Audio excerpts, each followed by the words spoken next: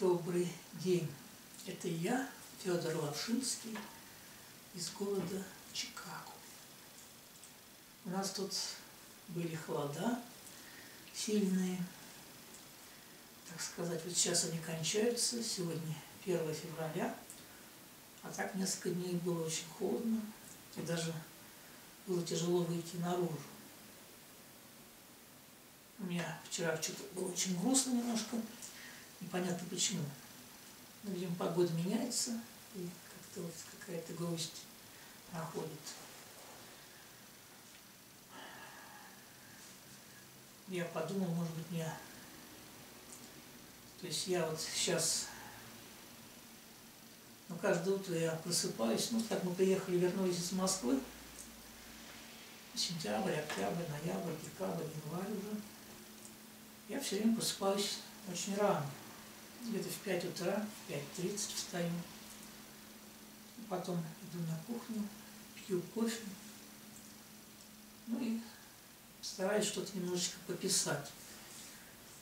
У меня когда-то в прозу я повесил много своих миниатюрок, а сейчас я их прочел, они мне очень многие не понравились, они были сделаны, чувствуются именно с расчетом на Facebook. Ну и я решил их переделать, увеличить в размере как-то, ну и доработать. Потому что, ну как бы, если набирать в гугле Федор Лапшинский, то как бы выпадает уже это проза.ру, ну и эти какие-то недоделанные миниатюры. Ну, мне как-то стало немножко неудобно. То есть я тогда спешил, что-то кидал, кидал туда. Ну и решил их все-таки доделать, доработать.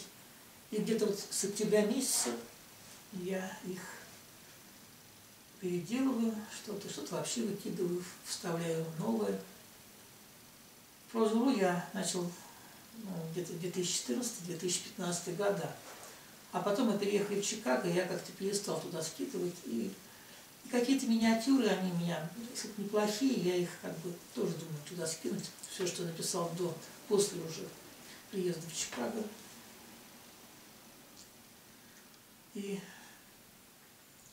ну, это немножко довольно грустный процесс, потому что меня как бы, ну, я не чувствую никакого отзыва.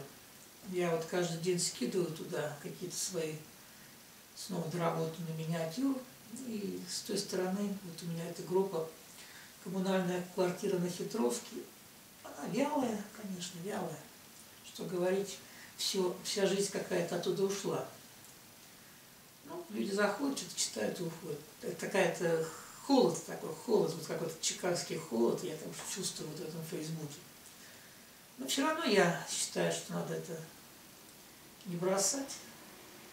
Потому что если бы не было Фейсбука, что я туда скидывал, я бы, может быть, и эту прозу бы плюнул бы и не стал бы редактировать все это. Ну а так надо все-таки это доделать, потому что там у меня висят уже где-то 500 миниатюр, из них я редактировал 300, осталось 200. Ну и там, видимо, я много чего повыкидываю. Ну и как-то останется какое-то количество этих миниатюр. Федор Лапшинский какое-то количество хороших. Но я стараюсь сейчас писать более, более как-то изощренно. Может быть, вот это и есть то, что людям не нравится.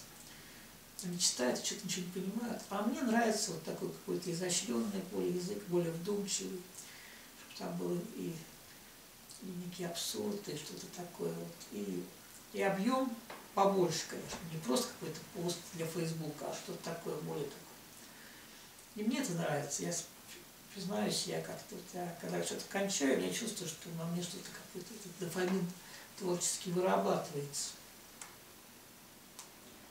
Потом мне опять я как-то туда скинул в группу, и все, и как-то у меня что-то опять какая-то легкая депрессия начинается. Стараюсь отвлечься. Мне вообще надо побольше, конечно, гулять, побольше рисовать. Рисование тоже я как-то забросил. Потом снова сейчас возвращаюсь в краю. Такой тяжелый. Нет, довольно все-таки зима, она как бы, это легкая, легче, чем прошлая зима. Но все равно зима есть зима, и это какое-то вот это одиночество, разговор с самим собой. Но еще у меня есть какие-то другие, какие-то интересные эксперименты, которые, про которые я, так сказать, не готов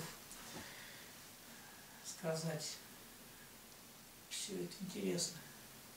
И я очень давно не разговаривал, не монологил, и чувствуется, что я вот сейчас что-то хочу сказать, а при этом как-то мысль теряется. Мысль теряется. Вчера было как раз 55 лет, как моему другу, покойному Леше Червякову, исполнилось бы 55 лет. Уже опять я что-то перевернулась. То есть это отсутствие практики разговора дает знать. Ну, поэтому я стараюсь писать. Еще я стараюсь вот читать вслух. Я у меня я делал, вот я Ванечку Ерофеева читал вслух, потом до этого по голове. Именно чтобы через гору, чтобы ничего не заставилось.